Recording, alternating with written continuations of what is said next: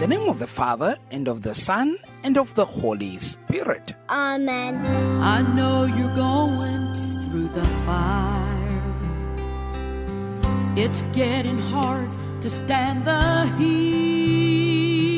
For our good night message on this Sunday, the 29th of January 2023, broadcasting from the Salesian community of the Sacred Heart in Lusaka, Zambia, by your servant Father Eustace Siame, a Salesian of Don Bosco, we listen to this encouraging and inspiring message in the series When God Says No, entitled Not What We Expected.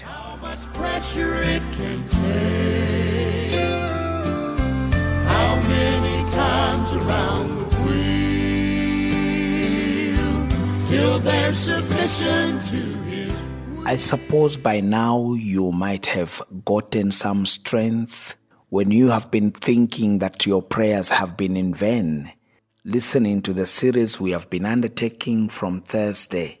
And definitely you have looked at yourself and seen that some of the things have not been answered quite all right, but it doesn't deduct anything from the goodness of the Lord. When you look at Luke chapter 6, verse 12 to 16, you see Jesus getting into prayer as he is about to start his public ministry. And what came out from the choice that he made of the apostles might not have been what we expected to come out of that prayer experience. This passage shows us that it's good to spend time in sustained prayer prior to making important decisions. We can assume that Jesus' all night prayer vigil was to do with the choosing of his inner circle of disciples. Prayer meant he got the best possible outcome. The passage also teaches us that what we think is a good outcome might differ from God's idea. Because Jesus chose Judas after wrestling in prayer all night with a group of willing men from whom to choose. Jesus chose Judas. This passage teaches us that answers to prayer are sometimes surprising. And yet we know that even the wicked Judas played a part. He was not a good man, but perhaps he was a good choice.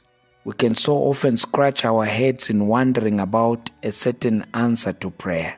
What we got is not what we asked for or what we understand. We might have prayed for a spouse and we got somebody who may not be what we expected. We got somebody who has been behaving like Judas. But it doesn't mean that God did not answer our prayer. Those are the surprises we get in prayer. Prayer is about aligning ourselves with the heart of the Father. It's about His will being done, even if it's done in ways that take us aback. We might pray for a good thing and a bad thing happens. At such times, we can only trust that God has some deeper good to fulfill. And in this case, Judas did his worst while God worked it for good. All things work together for good for those who love God, who are called according to his purpose. Romans chapter 8, verse 28. We can trust that good will have the last word because God will have the last word.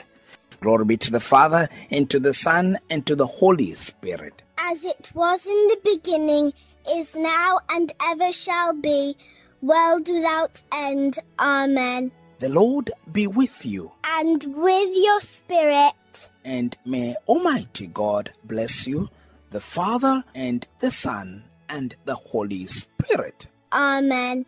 Good night, and sweet dreams. Same to you, Father. Friend, I just came through that fire not too very long ago.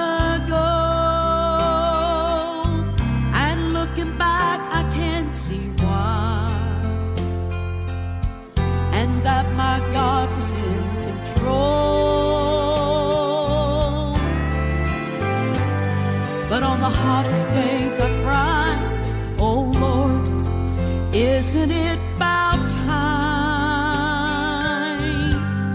But the potter knows the to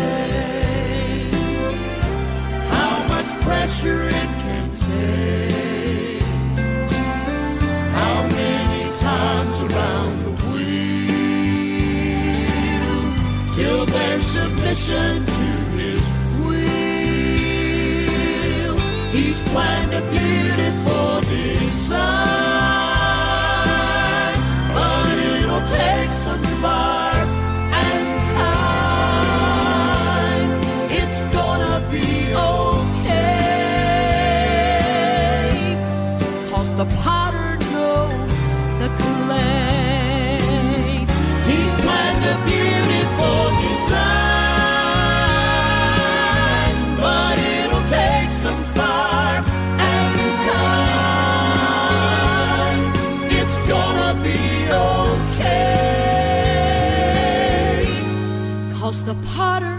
He knows.